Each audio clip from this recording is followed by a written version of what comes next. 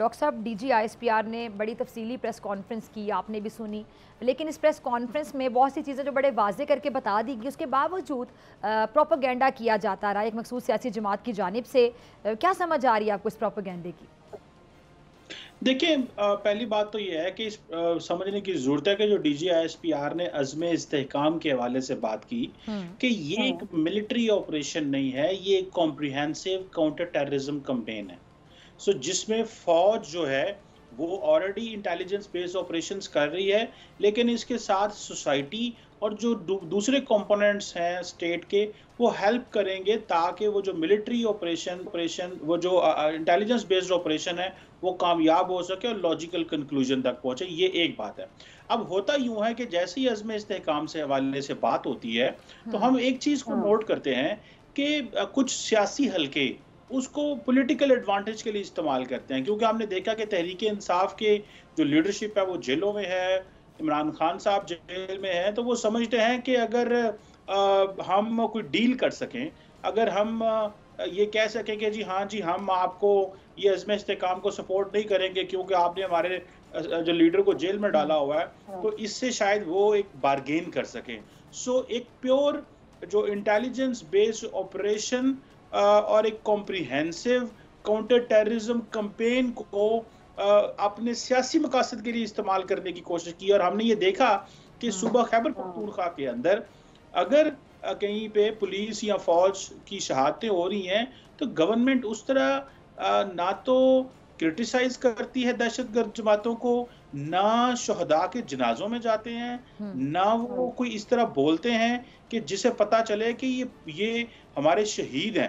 سو خاموشی جو ہے ہمیں تو یہ بڑی خطرناک خاموشی ہے کہ چاروں صوبوں میں سے ایک صوبہ دہشت گردی میں شہید ہونے والے فوجی اور سپاہیوں کی شہادتوں پہ بھی اگر نہیں بولتا تو مطلب یہ کس چیز کا ملک ہے اور انہوں نے کس چیز کا حلف اٹھایا ہوا ہے؟ میں سمجھتا ہوں یہ تنقید صرف اس لیے کی جا رہی ہے کہ پروپیگنڈا صرف اس لیے کیا جا رہا ہے کہ ہمارے لیڈر کو چھوڑو یا کیسز ختم کرو تو تب ہم آپ کو دہشت گردوں کے خلاف اس کمپین میں مدد کریں گے جو کہ میں سمجھتا ہوں بلیک میلنگ ہے۔ پاکستان کے کانسٹیٹیوشن جی بلیک میلنگ ہے۔ کانسٹیٹیوشن کی وائلیشن ہے۔ اور میں سمجھتا ہوں اس کو ایز اے سوسائٹی تمام سٹیک ہولڈرز کو اس کو ریجیکٹ کرنا چاہیے۔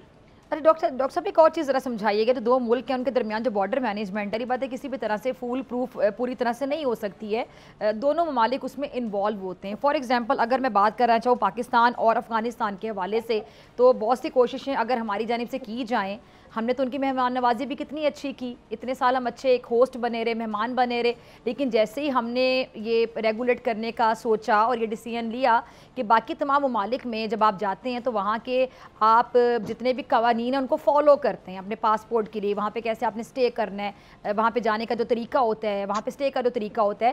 لیکن جیسے ہی ہم نے وہ ڈیسیجن لیا، مجھے تو لگتا ہے ہم پہلے لے سکتے تھے، اس میں ہم نے دیر کر دی۔ اس کے بعد بھی کس کس طرح کا رسپانس آیا، اس جماعت کی جانب سے باقی آپ کے سامنے پوری صورت صورتحال تو تالی دو ہاتھ سے بچتی ہے۔ تو یہ پارٹی اس پوائنٹ کو نہیں سمجھ پا رہی کہ کچھ معاملات میں آپ کی طرف سے پوری ایفرٹ ہوتی دوسری طرف سے کرنا ہو تو پھر کیا ہو سکتا ہے؟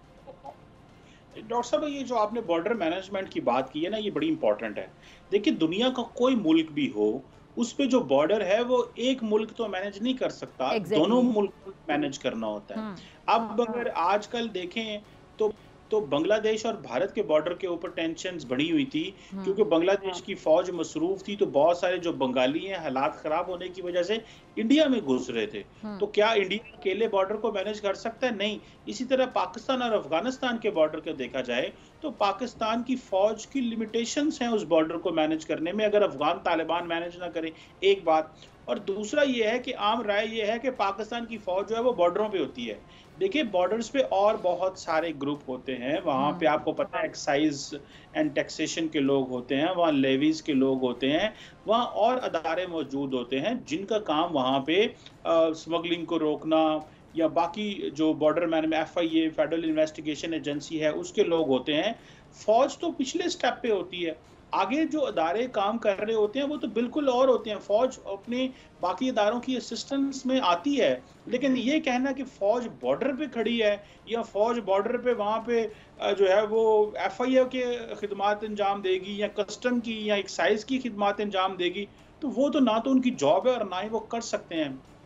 جس چیز کو سمجھتا ہوں جو بات ہونی چاہیے وہ یہ ہے کہ کیونکہ ہمیں فوج سے پرابلم ہے، کچھ دھڑوں کو تحریک انصاف کو اور باقی کچھ نیشنلسٹ پارٹیز کو، خیبر پختونخوا اور بلوچستان میں۔